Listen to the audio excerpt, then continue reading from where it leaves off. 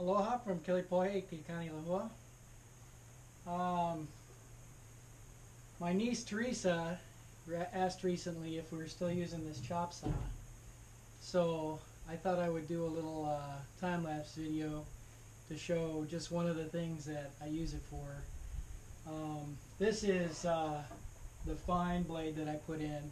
This is the third blade I've had to put into it because I've wore two out this one is for trim only. So uh, this is going to be a little time lapse, rapid exposure kind of thing, but I'm going to, uh, you'll see here in a second as I get going, but uh, I'm going to put the trim up on the uh, sliding mirror door in the spare bedroom, uh, the casement on the outside. Okay, let's get started.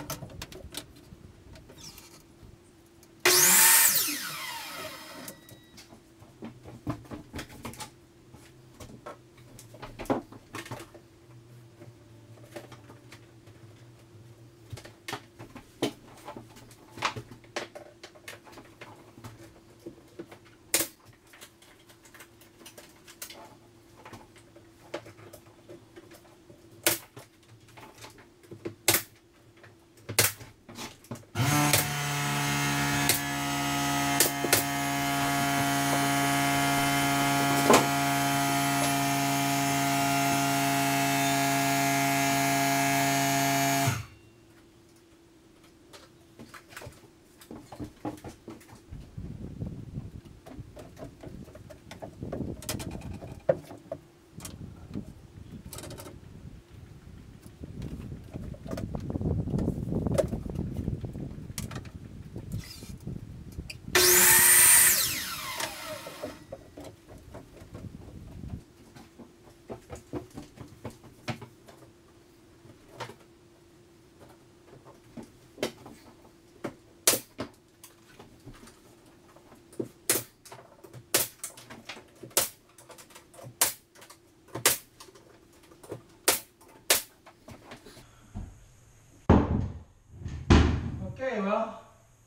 the casement on the uh, exterior part of the, uh, the guest bedroom closet.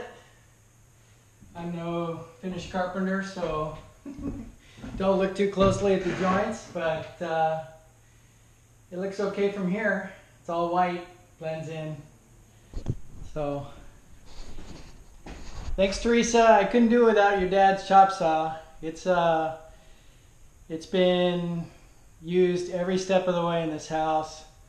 Um, probably from the framing and the floors, anything that's 2x4, 2x6 or smaller, it cut. So it's going to be used in the stairs, outside, all over the place. So I think you're dead when I use it. Bye bye.